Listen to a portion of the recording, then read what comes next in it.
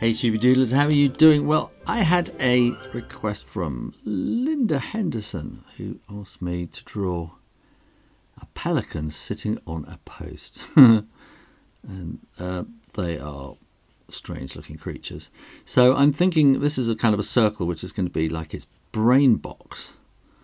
And I'm going to put its eyeball, it's just not quite centre, it's kind of over at kind of half past ten a bit and up there. And then we're going to want a line sort of coming down from there a fair old way and then that's going to have a little kind of claw thing on the end of it. And then we have a curve and then that's going to want to come to about there.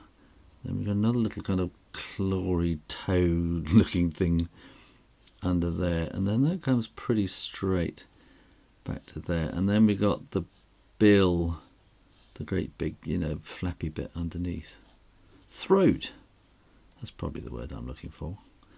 And then this wants to come up and around and kind of like that. So it's going to be coming forward there. And then we want the body coming off there I think. Maybe I'm just going to move this up a little bit to give myself a little bit more room. Um, and then we got a kind of a line coming down through the wing and then the wing and then that's sort of coming around there and then the tail is coming down there too. We want to see the feet. Oh no it's probably more like that.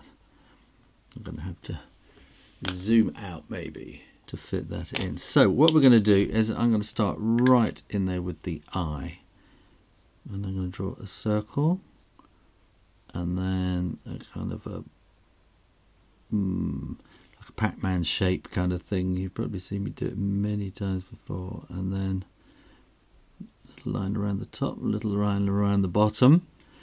And I'm going to do this line first, coming up there. And then that little kind of toe thing. And then there's a line that comes like that. And then that's going to go there it's actually going to go the opposite way because then that then comes around here and kind of into there like that.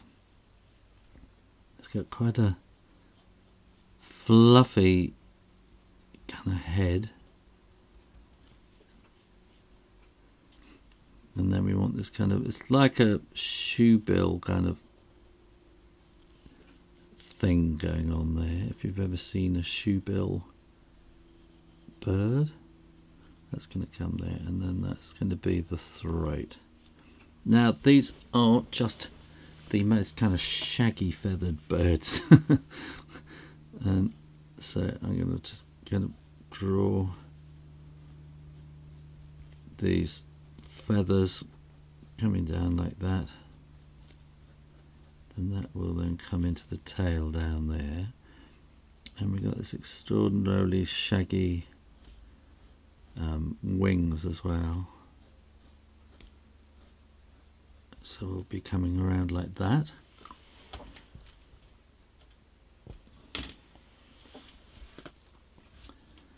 And we had this kind of line here in the wing which is a very strange thing altogether.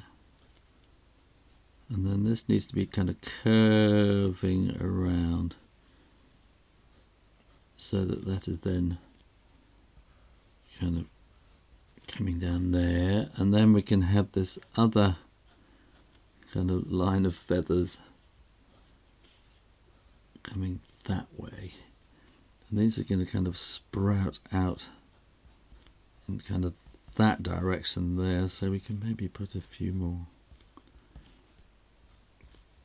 curving around that way. And then here again I think we need to this is kind of where the the chest comes out because this is the this is the throat um, which I think we could probably shade in. And we can bring that line up to there. And then we need a kind of a line forward there as well. So we can shade this all in here. And then I'm going to put some more of this these kind of feathers in here. And they have to kind of curve around to fit the body. And then we're going to want to have the legs coming down. That'll go to the back leg. And then we'll want kind of like that and another one there and then we'll have this leg and we want the little toes going around the top. There'll be another one at the back there. So this is going to be coming down on this post which has probably got sort of bird droppings all over it I should imagine. And when you are sure that the ink is dry you can erase all those pencil lines and I'm looking at this thinking something is looking a bit weird and it's kind of, it needs more sort of around there as well because this is a kind of a yellowy colour. So that would have been more around there. And now I'm going to give this a very quick bit of um, grey wash just to kind of give it a, a bit of sort of bodiness to the whole thing so that can come along like that. Um, just to give a bit of extra something there there'll be a little bit of shade there. But then it's this kind of great shaggy it's almost like fur. It's kind of a weird looking bird altogether. And then the feet are quite dark too and then we can put a bit of something on the there. We can maybe put a bit of extra kind of shading down there and a little bit extra coming there and from there too.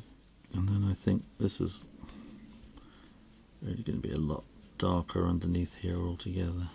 It's a very very very strange bird. And once you start drawing it it just doesn't look right whatever you do. It's like so many kind of natural things. When you kind of look at them you go oh is that right? And because you kind of make assumptions about how they look. And uh,